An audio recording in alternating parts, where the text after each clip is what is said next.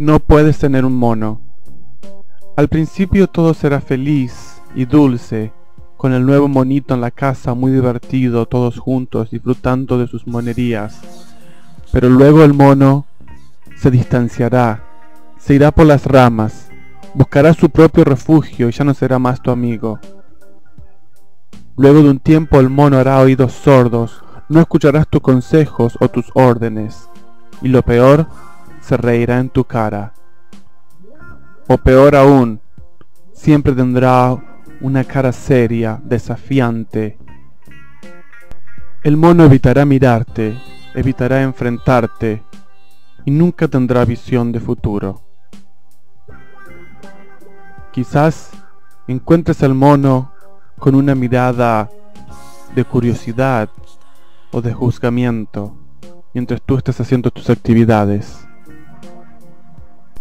O quizás el mono le cuente tus más íntimos secretos a todos tus amigos y tus familiares. Quizás a veces ponga cara de inocente, pero solo esperará que lo lleves montado en tu cabeza de aquí para allá. Y luego, cuando esté en su lugar favorito, se escapará de ti y te hará quedar en ridículo, riéndose enfrente de todos tus amigos. También el mono querrá utilizar todos tus accesorios, tu iPod, tu iPhone, tu iTouch, tu computadora, tu BlackBerry. Tu vida privada quedará en sus manos.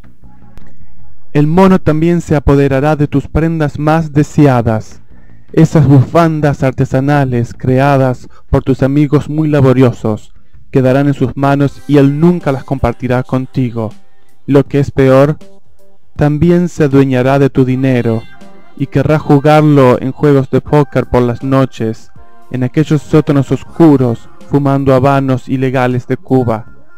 Y lo que es aún peor, después de toda la amistad que tú le brindarás, el mono se convertirá en tu peor crítico nada estará a su altura o su nivel, todo lo que hagas le parecerá mediocre. Y por último, el mono permanecerá con esa cara de inocente, con esa cara de angelito mono que todos aman, y nadie te creerá cuando tú les digas en lo que él se ha convertido, en cómo te ha robado la vida, en cómo te ha traicionado. El mono será el triunfador.